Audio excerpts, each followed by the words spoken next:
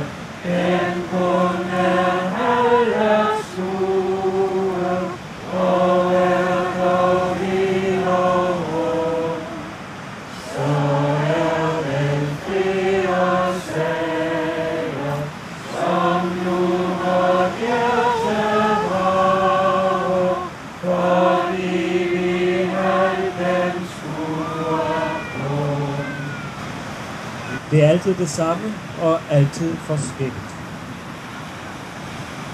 Sidste onsdag, der var der en af dem, der var med her til aftengudstjenesten, der sagde, at den store oplevelse havde været altertavlen, hvor der pludselig dukkede et marsvin op. Jeg havde kigget efter, det var ikke en sæl, det var et marsvin. den lille val, vi har i vi har i det danske farvand. Jeg kan ikke garantere for, at den dukker op i aften. Men øh, vi kom så til at snakke om ja, den lille val, der mindede os om valen i Bibelen. Valen, som sluger Jonas. Det skal man ikke være bange for, at et marsvin skal finde på, eller overhovedet overkomme. Og valen, der slugte Jonas, på et tidspunkt, så spyttede den ham ud på en strand, så han kunne gå til Nineve og gøre det, han nu egentlig var blevet sat til. Og jeg kom i hvert fald til at fundere over, hvordan Jonas må har set ud, hvordan han må har haft det, som han har ligget der på stranden, mens han var i valens brug skriver forfatteren i Bibelen, at han, at han, at han oplever det på den her måde. Du havde kastet mig i dybet, i havets skød. Strømmen omgav mig. Alle dine brændinger og bølger skyllede hen over mig. Jeg tænkte, jeg er jaget bort fra dig. Vandet truede mit liv. Havdybet omgav mig. Tank havde viklet sig om mit hoved. Jeg var kommet ned til bjergenes rødder.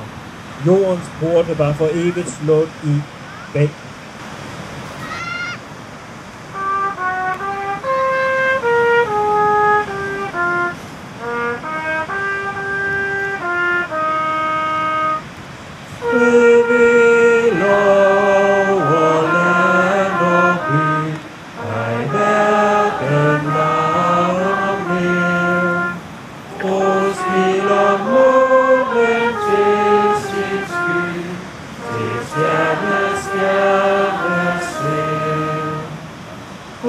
Og søen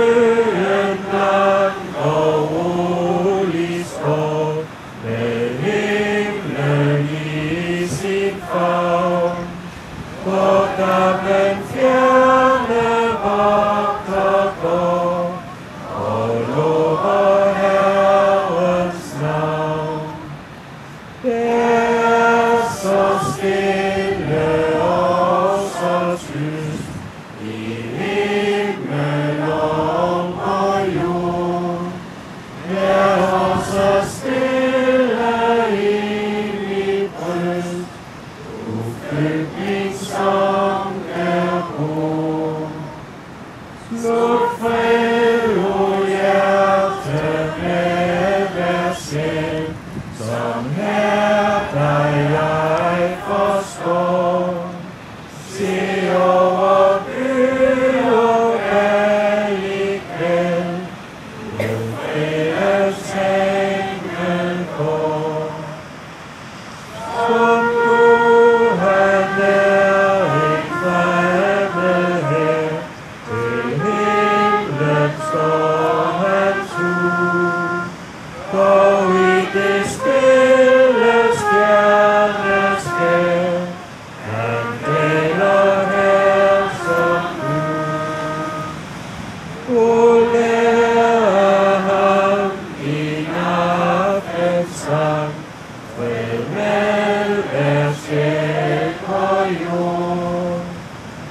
Til